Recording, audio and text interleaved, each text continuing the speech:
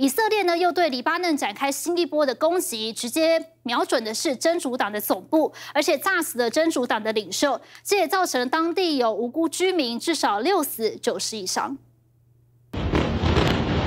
黎巴嫩首都贝鲁特又遭以色列空袭，各地不断传来爆炸声、尖叫，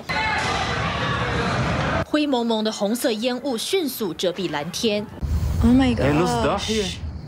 滚滚浓烟吞噬太阳，市区仿佛迎来世界末日，高楼大厦被夷为平地，人民脚下是一片废墟。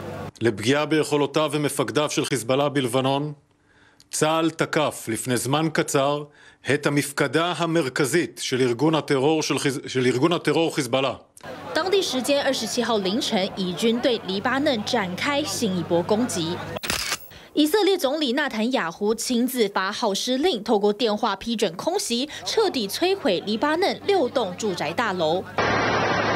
搜救人员从缝隙中抱出两名生还幼童，将他们送上救护车。这起攻击至少造成大约百人死伤。伊朗外交部长向联合国安理会表示，以军这次是使用美国提供的五千磅地堡破坏者炸弹。不过，针对这次攻击，美国赶紧切割。The United States was not involved in this operation, and we had no advanced warning.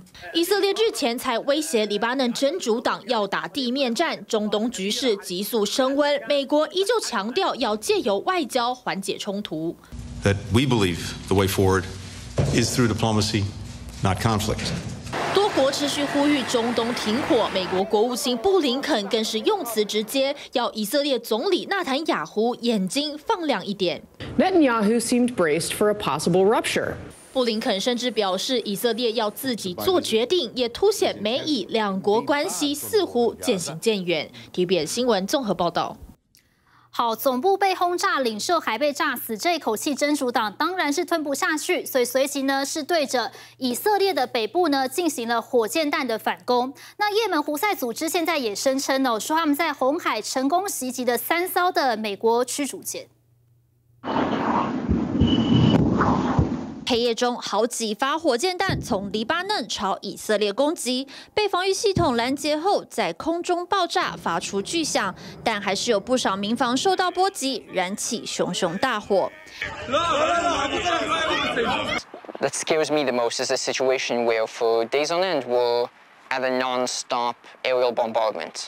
不止真主党来袭，他们盟友也门胡塞也对以色列猛攻，向台拉维夫发射地对地飞弹。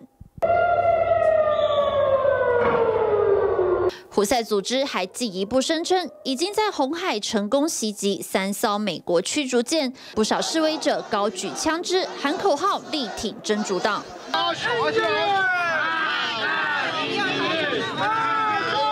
伊朗也加入声援真主党行列，数百名示威群众在首都德黑兰火烧美国和以色列国旗，抗议以色列军事活动，也怒批美国军援以色列。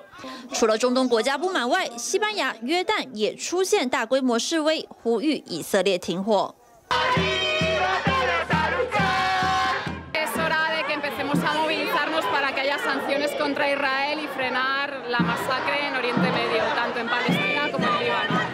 在多国抗议声浪中，以色列总理纳坦雅胡出席联合国大会，走到台上准备发言，结果发生尴尬一幕。Ladies and gentlemen, order！多国代表发出嘘声，还离席抗议。尽管如此，纳坦雅胡仍强调，真正的战犯不在以色列，而是在黎巴嫩、伊朗、加萨等地。And the fact that I don't think I heard the word ceasefire once in that speech。美国前人质谈判专家接受 CNN 专访，直接严厉批评纳坦雅胡活在自己幻想的世界当中。TVBS 新闻王新堂蔡一杰综合报道。美国总统泽伦斯基访美之际，已经将胜利计划交给了美国两党候选人跟拜登总统。那么也来看呢，乌军释出了前线最新的画面，他们在空中的作战，从背后击落了俄罗斯的无人机。致命的俄军无人机在空中盘旋，一发现目标就毫不留情轰炸，但螳螂捕蝉，黄雀在后。技高一筹的乌军无人机接连从背后击落好几架俄军的柳叶刀、扎拉四二一等先进无人机。 Противник здійснює кожного дня нарощування певних певної продукції, наприклад, це боєприпасів, FPV, щоб ми так же само могли знищувати це все. 乌军持续在东部顿内茨克阻挡俄军，遭到敌人不断用牵引式火炮狂轰。俄罗斯官媒更声称，俄军已经开始攻击离乌军后勤重镇波克罗夫斯克以南约八十公里的布格列达尔。连乌军分析师都说，鉴于目前战况，逐渐撤军恐怕在所难免。 Як ми від початку і прагнули, план перемоги був представлений обом кандидатам в президенти. Змова. І сьогодні Дональд Трамп. Розмова майже годину.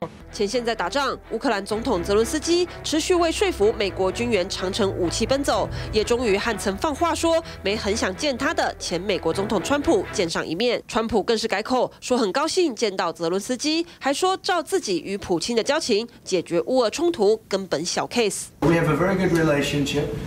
And I also have a very good relationship, as you know, with President Putin. And I think uh, if we win, I think we're going to get it resolved very quickly. Very well. I really think we're going to get it I hope resolved. we have more good relations. 不过，泽伦斯基似乎也暗示，若川普真的胜选之后，希望能多挺乌克兰一点，才能真正解决这场乌俄战争。TVBS 新闻综合报道。